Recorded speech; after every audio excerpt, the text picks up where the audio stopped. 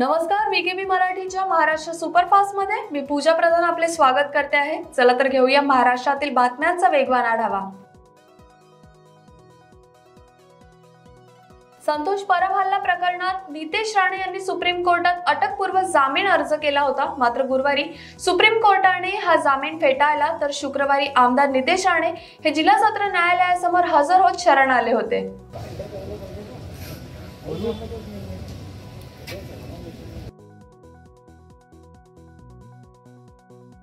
आमदार नितेश राणे सिंधुदुर्ग जिल्हा सत्र न्यायालयात हजर झाल्यामुळे कणकवली नरडवे नाका येथे मोठ्या प्रमाणात पोलीस फोर्स वाटत तैनात करण्यात आला होता.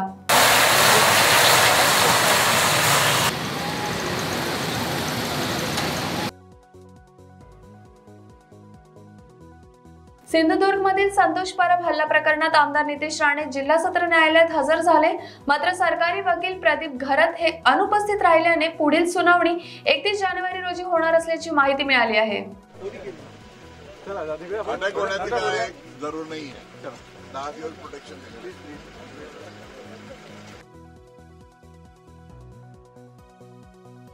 जळगाव जिल्ह्यात राष्ट्रवादीची ताकद वाढली असून भाजपची पिछेहाट झाली आहे असा शब्दांमध्ये माजी मंत्री एकनाथराव खडसे यांनी आमदार गिरीश महाजन यांच्या टीकेला प्रत्युत्तर दिले आहे. बोदवळ नगर परिषदेमध्ये पहिल्याच दिवशी जेव्हा निकाल लागले त्यावेळेस मी असं म्हटलं होतं की पराभव पराभव होतो आम्ही पराभव मान्य करतो. आमच्या दोन जागा एक चिठ्ठीनं गेली आणि एक सहा मतांनी गेली. असं पहिल्याच दिवशी मी प्रतिक्रिया दिली. गिरीश भाऊ सध्या फ्रस्ट्रेशनमध्ये आहे खरं म्हणजे बोदवड शहरामध्ये भाजपची सत्ता होती. भाजपचा नगराध्यक्ष होता. भाजपबरोबर दहा नगरसेवक होते तिथं भाजप हारली. राष्ट्रवादीचे दोन नगरसेवक होते. त्या दोनचे आम्ही तिथं सात जण निवडून आलो दोन जागा दुर्दैवाने गेल्या. पण राष्ट्रवादीच्या दोनच्या सात झाल्या आणि भाजप ज्या ठिकाणी त्यांचा नगराध्यक्ष होता त्या ठिकाणी एक जागा आली ती चिठ्ठीवर आलेली जागा आहे.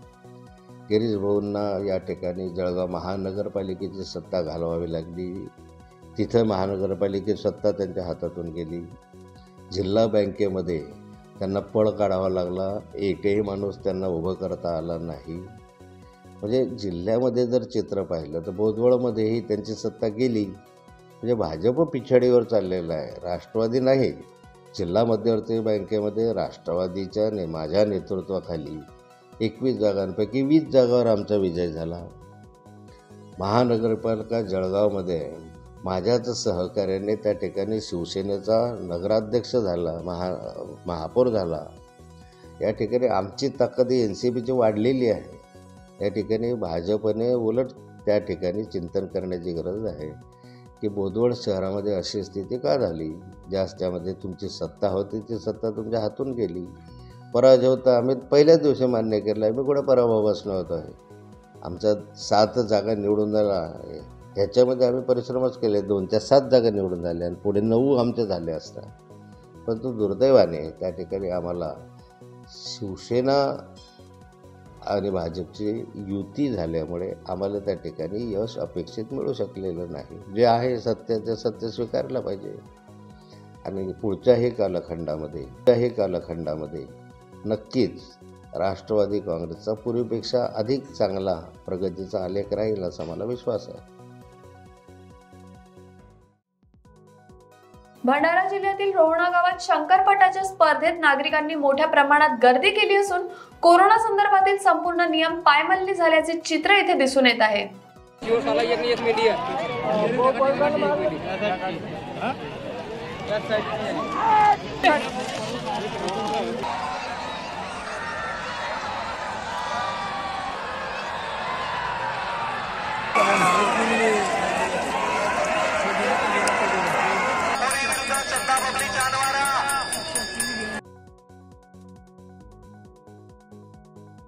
ठाकरे सरकारची दादागिरी चालणार नाही असे माजी खासदार किरीट सोमय्या मुंबईमधील झालेल्या एका मुलाखतीत बोलले. ठाकरे सरकार की दादागिरी नाही चलेगी. उद्धव ठाकरे यांना असं वाटतं की ठोकशाही सुप्रीम कोर्टाने आधी ठाकरे सरकारची वसुली थांबवली. गृहमंत्रींना जेलमध्ये पाठवलं. वास्तविकरित्या ह्या वसुली सरकारचा घोटाळेबाजांची दादागिरीचा अंतची सुरुवात आदित्य ठाकरे नाशिक जिल्हा दौऱ्यावर असून त्यांनी नाशिकच्या गंगापूर धरणाच्या बोट क्लब येथील गंगापूर धरणामध्ये बोटची सफारी केली. एन्जॉय केलं नाशिक? काल रात्री उशिरा आलो. संभाजीनगरला होतो. अजंठा लोरला जाऊन आलो. तिकडे थोडी आपण चांगली पर्यटनची कामं करतो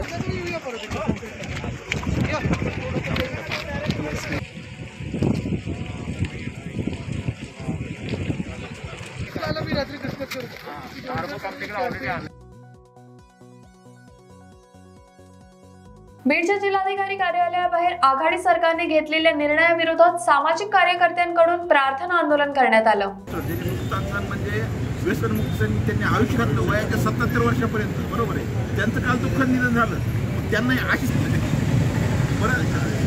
रेशो काढला निश्चितच या ठिकाणी ठाकरे सरकार दारू विक्री संदर्भात जे निर्णय घेत आहे वायनरी आता गावोगावी खेडोपाडी किराणा दुकानावर या ठिकाणी उपलब्ध करायचा निर्णय त्यांनी घेतलेला आहे. जी लहान लहान मुलं गोळ्या बिस्किट आणण्यासाठी दुकानावर जात होती दुर्दैवानं त्यांच्या नजरेमध्ये आता वायनरीच्या या ठिकाणी पॅकिंग या ठिकाणी दिसणार आहे.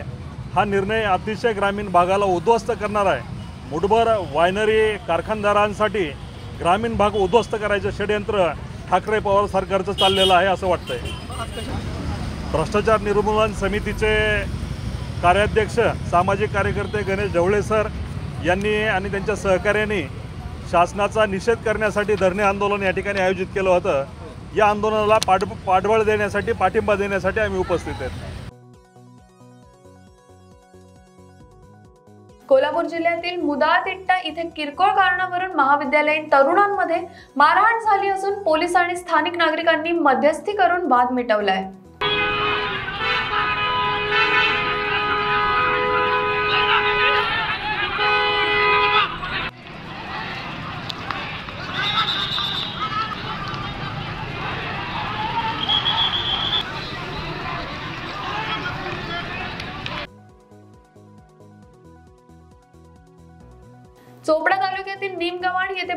भरवस्तीत पहाटेच्या सुमारास बिबट्याने म्हशीच्या पारडूवर हल्ला करून त्याला ठार केले यामुळे नागरिकांमध्ये भीतीचे वातावरण पसरले आहे.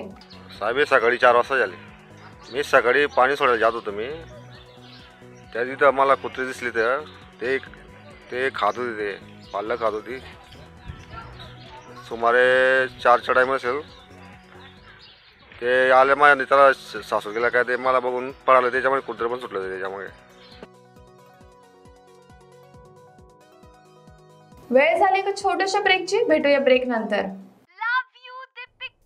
बाय सब जानना चाहते हैं। मेरा फेवरेट कलर मेरा फेवरेट डेस्टिनेशन मेरी फेवरेट डिश पर कोई ये नहीं पूछता कि फेवरेट डिश मैं बनाती कैसे हूँ। अरे यार। जिसे टेस्टी खाना पसंद है वो अच्छे टेस्ट तक पहुँच ही जाता है। सुरुचि मसाले। खाने में हो रुचि तो घर लाइए सुरुचि। अपने सपनों की उड़ान भरने की इच्छा तो हर किसी की होती है। पर पंख भी तो मज़बूत होने चाहिए। जो देता है Flywheel Aviation Academy Flywheel Aviation Academy एक ऐसा इंस्टीट्यूट है जहाँ पर एयरलाइंस एंड एयरपोर्ट हॉस्पिटैलिटी और टूरिज़्म मैनेजमेंट साथ ही यहाँ campus interview guidance by industry expert practical training at airport expert faculty personal grooming जैसे कई सारे बेनिफिट्स आप पा सकते हैं। Flywheel Aviation Academy one degree three job opportunities Flywheel Aviation Academy gives you a degree or diploma with a job. Flywheel Aviation Academy, 365 Gandhinagar, LAD College Square, beside Karnataka Bank, Nagpur.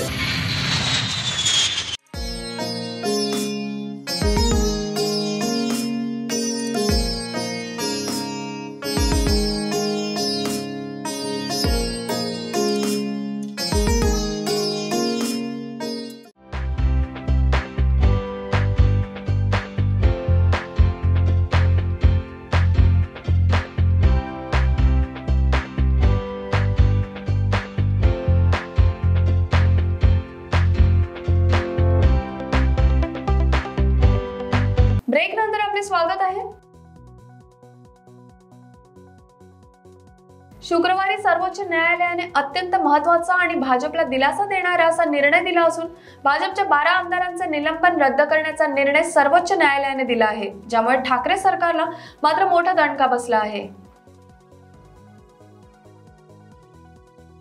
अठ्ठावीस जानेवारी रोजी भाजपच्या बारा आमदारांच्या निलंबनावर supreme कोर्टाचा निकाल आला असून त्या निकालाची प्रत विधिमंडळ सचिवालयाला प्राप्त झाल्यावर विधानसभा अध्यक्ष अंतिम निर्णय घेतील अशी माहिती राष्ट्रवादी काँग्रेसचे मुख्य राष्ट्रीय प्रवक्ते आणि अल्पसंख्याक मंत्री नवाब मलिक यांनी दिली. बारा आमदारांच्या निलंबनाच्या बाबतीत सुप्रीम कोर्टाचा निकाल आज आलेला आहे. निश्चित रूपाने त्या निकालाच्या प्रत विधिमंडळ सचिवालयाला प्राप्त झाल्यानंतर त्याच्यावर विधिमंडळ सचिवालय अभ्यास करेल आणि शेवटी अंतिम निर्णय अध्यक्ष महोदय घेतील. हा सरकारचा निर्णय नाही विधिमंडळाचा निर्णय आहे. विधिमंडळाचे अधिकार आणि न्यायालयाचे आदेश या बाबतीत निश्चित रूपाने जे काही अभ्यास करायचे असतील ते विधिमंडळ सचिवालय करेल. आणि त्याच्यावर अंतिम निर्णय हे अध्यक्ष महोदय घेणार आहे. राज्यात ठाकरे सरकारने मंत्रिमंडळाच्या बैठकीत सुपर मार्केटसह हजार चौरस फुटांच्या दुकानांमध्ये वाईन विक्रीच्या प्रस्तावाला मंजुरी दिली असून भाजपमध्ये या निर्णयाचा तीव्र निषेध करण्यात येत असल्याचे पाहायला मिळत आहे. बरेच वाईनरी असताना हे वाईन जे सुपर मार्केट आहे तिकडे शंभर फुटाचं एकंदरीत म्हणजे छोटे शॉप्स विदिन सुपर मार्केट असे निर्माण करून त्यांना परवानगी देण्याबाबतीत मंत्रिमंडळाने निर्णय घेतलेला आहे. आणि त्या अंतर्गत हे जे महाराष्ट्रामध्ये शेतकऱ्यांच्या फल उत्पादनावर वायनरीज चालते त्यांच्या प्रोडक्टला चालना देण्यासाठी ते आज नवीन पॉलिसी ठरवण्यात आलेली आहे. हजार फुटापेक्षा कमी कुठल्याही दुकानाला हे परवानगी मिळणार नाही. जे सुपर मार्केट आहे तिकडे एक त्यांना स्टॉल म्हणजे एक शोकेस तयार करून त्याच्या माध्यमातून विक्रीची परवानगी देण्याच्या बाबतीत निर्णय झालेला तर सरकारच्या मंत्रिमंडळाचा निर्णय अत्यंत दुर्दैवी आहे. खरं म्हणजे हे सरकार दारुड्यांची काळजी घेत आहे. उद्याची पिढी बर्बाद कशी होईल याची या सरकारला पर्वा त्या ठिकाणी दिसत नाही. शेतकऱ्यांच्या भल्याच्या नावावर मुंबईत वाईन त्या ठिकाणी छोट्या दुकानात त्या ठिकाणी सुपर मार्केटमध्ये विकणं म्हणजे हा एक प्रकारचा व्यभिचार महाराष्ट्रातील जनतेसोबत हे सरकार करताना या ठिकाणी दिसतंय. मला वाटतं बेवड्यांना समर्पित अशा प्रकारचा निर्णय या ठिकाणी महाविकास आघाडी सरकारने या ठिकाणी घेतलाय. ना मंदिरांची काळजी ना शिक्षणाच्या सारख्या पवित्र मंदिरांची काळजी तिथल्या लोकांची काळजी परंतु या ठिकाणी दारू विक्रेत्यांची आणि दारू पिऊन कुटुंबाच्या कुटुंब उद्ध्वस्त करणाऱ्यांना हे सरकार इनडायरेक्टली प्रोत्साहन देत आहे असा माझा या ठिकाणी आरोप आहे. आणि म्हणून हे भरकटलेले सरकार आणि भरकटलेला निर्णय घेताना दिसतंय.